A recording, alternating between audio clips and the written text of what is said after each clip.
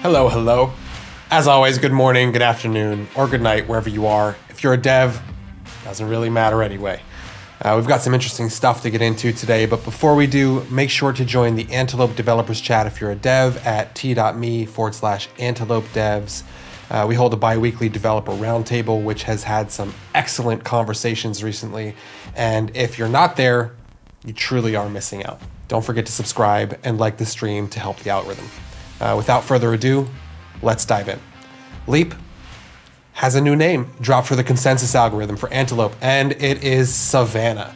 It is an acronym or a backronym that stands for a scalable agreement on validated additions with nimble, non repudiating attestation. Excellent, mouthful.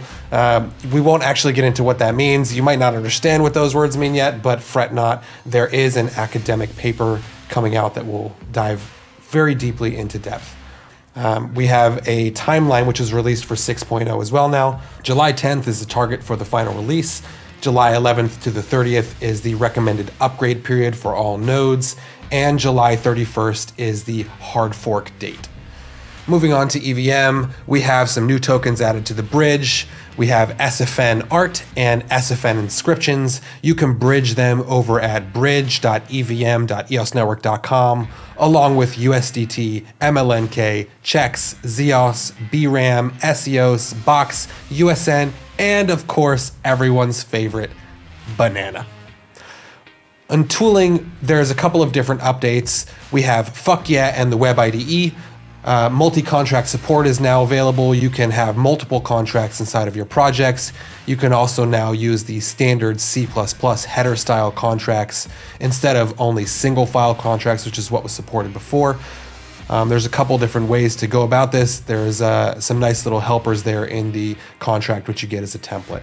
The Web IDE just dropped today, a couple hours ago, also has new logins with Google and GitHub, so you can save all of the projects uh, that you've been working on. You're no longer lost trying to find them or trying to bookmark them like a madman in 1997.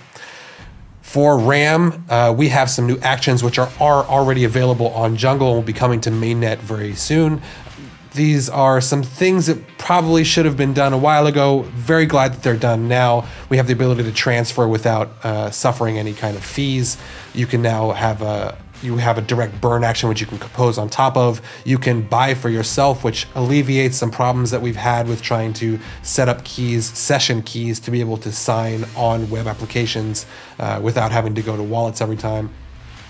And you have some composable inline logs, which help you to make other contracts on top of RAM uh, using the deltas of uh, the output. So let's say you buy RAM with EOS, you now have a way to also listen for an action that has the amount of RAM that was actually bought for the EOS, uh, and also the same for selling. So you, you can actually have that data. It's big hassle that we've suffered through for years, and I'm really happy to see that it's no longer a problem.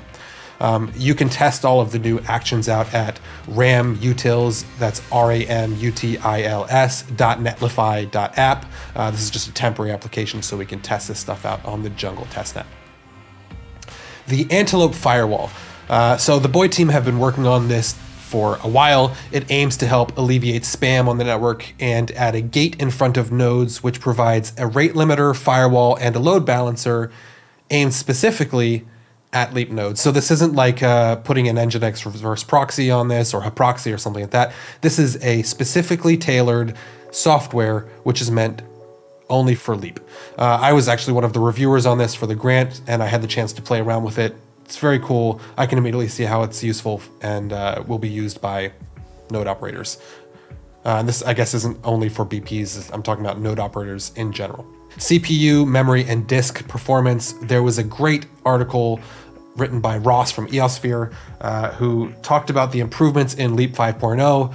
There's some real life data taken from their own nodes. It's a really good read and a good way to get a view into just a tiny part of what it takes to run a BP. Uh, so even if you're not a developer, though it is a little technically dense, it is a really good way for you to understand some of the larger picture of what block producers have to go through. Now, last episode, I put forth a decently sized developer challenge, and luckily for you viewers today, uh, it hasn't been completed yet. So let's see what the challenges are again and what you can do to earn up to 1000 EOS. It is time again for developer challenges. On the last episode, you had an opportunity to build a 2Don't app or a Tamagotchi dApp for 200 EOS each, one for EOS Native and one for EOS EVM. We got a ton of submissions, but only the two that did it properly first actually won the prizes. Today I have another set of challenges, a little bit of a higher prize pool this time.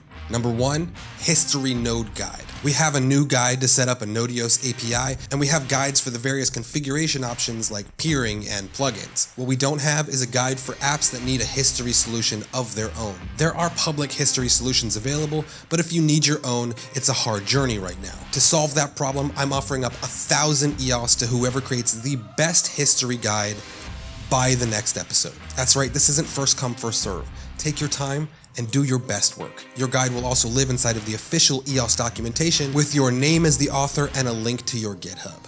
Number two, build a Seeds app.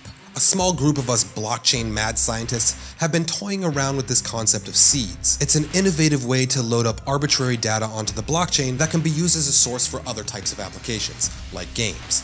One of the biggest problems we usually face is that the price of putting that kind of data on the blockchain is expensive and then completely wasted when one of those games either gets abandoned or is just over. This system helps alleviate those core problems while also adding additional functionality like the transfer of ownership of those assets and API like composability. The technology is still in beta and desperately needs some testing. So to kickstart the ecosystem, I'm offering up 200 EOS to three developers who are willing to create projects on top of Seeds and provide quality feedback. Follow the first link on the screen to join the Seeds Telegram chat, and the second link on the screen to join the Antelope Developers chat if you want to reach out about the history guide. Until next time, happy building.